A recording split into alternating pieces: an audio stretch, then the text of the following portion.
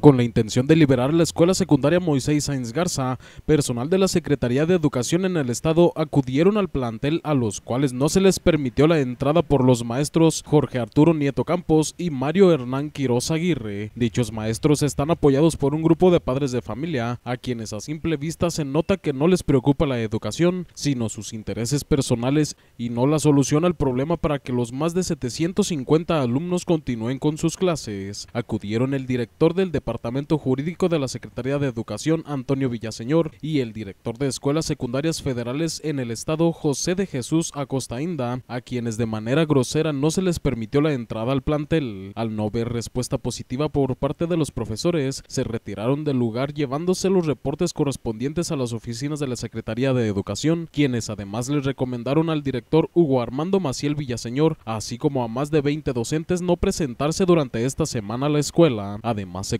prometieron que la Secretaría de Educación solucionará este problema en los próximos días, donde llevarán la investigación que se tiene. Con información de Paola Calderón Saldaña, para ABC de Michoacán Televisión, Freddy Vázquez Morales.